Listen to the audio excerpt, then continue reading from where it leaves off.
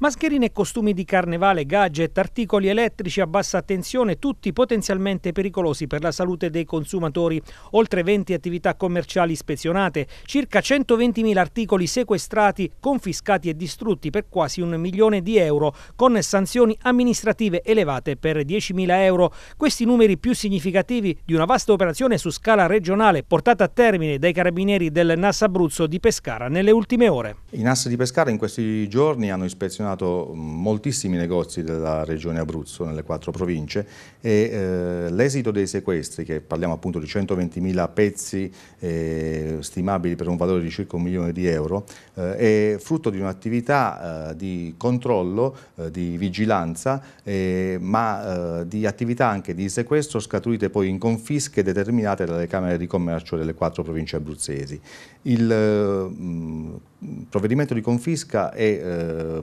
propedeutico a una distruzione. Eh, ci siamo occupati anche delle distruzioni attraverso eh, il conferimento in eh, siti autorizzati e abbiamo realmente tolto dal mercato e distrutto eh, tutti questi articoli che potevano essere pericolosi per la salute. Acquistare prodotti che eh, non sono tutelati da un marchio eh, è una garanzia di non sicurezza del marchio, ma